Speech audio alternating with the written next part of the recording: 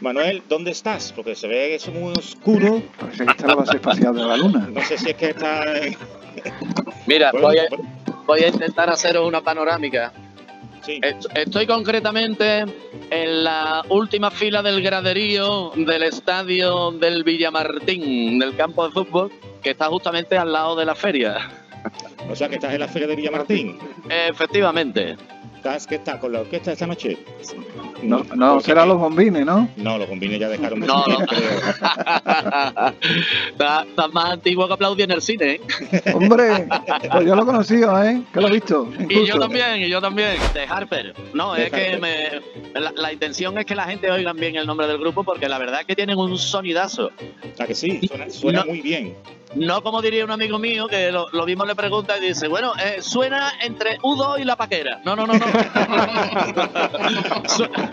Tienen, un, tienen un sonidazo. La pena es que mi nivel de inglés no es básico, es trágico.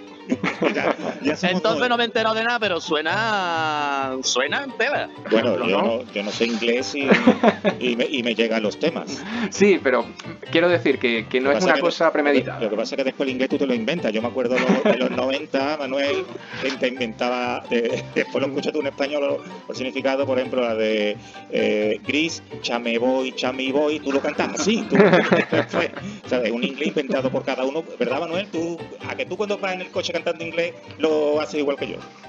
Pues muchas veces que me ha pasado. Además, hay temas míticos en inglés, como el tema central de Gris, que es conocido por el Acachú.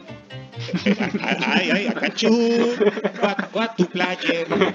Yo digo what to playa. Lo tenemos desde el, el tema que sale ahora el día 2 de octubre, que tiene o em- empezó a componerse hace la friolera de 20 años. eh, quizá Jorge pueda hablar un poquito más de- Más de del tema, o más de 20, 25, sí. cuarto de siglo tiene seguro.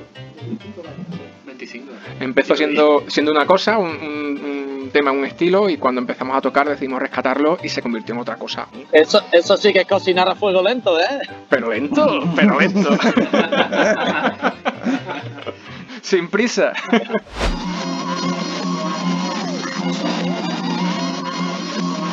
Ya no la acerté ni de coño. Manuel está ahí, Manuel. Seguimos Oye.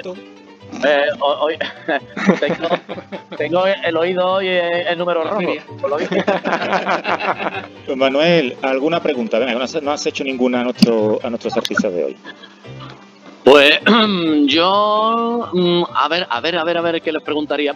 Eh, me gustaría saber, bueno, dónde tocáis, dónde os podemos seguir, básicamente, porque no se me ocurre ahora mismo nada.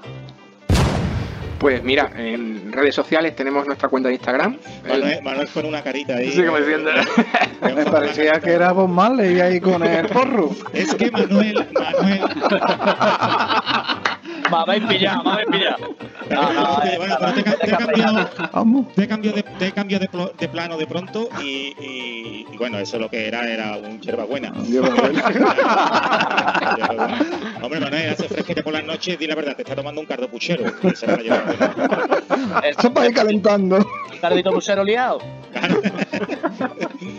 Eh, Manuel lo que está pensando ya en el último pase que- y que va a compartir escenario con, con los grandes de uno de los. La Eh, verdad que estoy pensando en la cena, Ignacio, que tengo más hambre ahora mismo que un lagarto en una herrería.